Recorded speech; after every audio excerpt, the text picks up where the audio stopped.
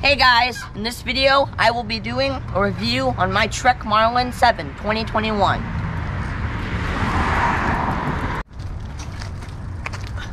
Let's start off with the pros.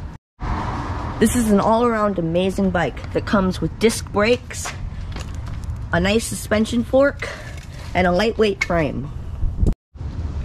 My frame has a curve as you can see here because I have a size small. This bike comes with Bontrager grips, saddle, and tires. I have this uh, water bottle holder that I got with it also. Overall, this bike is really good for the trails. I really like it. I'd say it's a really good mountain bike. It has, the suspension fork is pretty good for dampening, and the tires have some pretty good grip, although I wouldn't mind upgrading them. Some cons on this bike are Probably the biggest thing would be the pedals that it comes with. These are race face Chester pedals. The pedals that it comes with are just not very good. They don't have very good grip.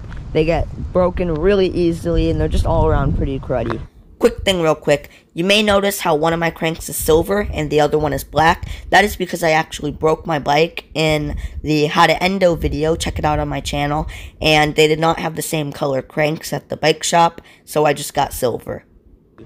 Another con, I would say, is as good as the suspension fork is, it's actually the RockShox Judy suspension fork. As good as it is, it does not do a whole lot for someone who's really light like me. Uh, even with the preload set on all the way low, it still, it just, it takes a lot of force to compress it.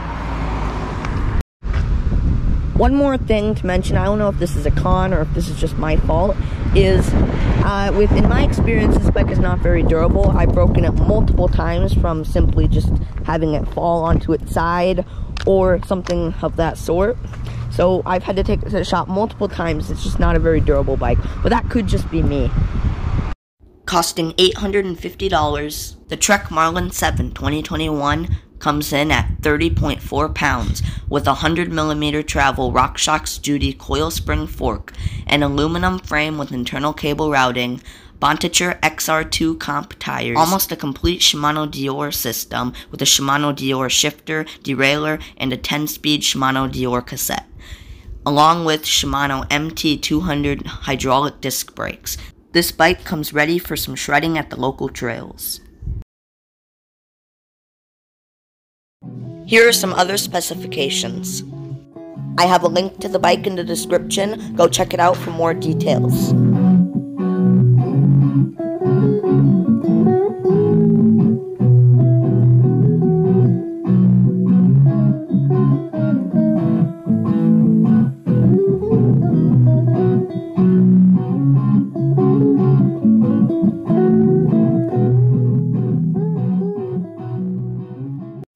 This bike is geared towards beginning mountain bikers. Now, if you are planning to use this more as a commuter bike to ride around the road, I would recommend the Trek Marlin 5 because it has more gear options and it is significantly cheaper. However, if you are going to try to get into mountain biking, I highly recommend this bike as a beginner. It is really good and it is great to get you into the sport. I hope that this little review helped you decide if you want to get this bike or not. Please leave a like and subscribe. I'm trying to get to 100 subscribers, and I'm going to do something really cool if I get there. Thanks. Have a good day. Bye.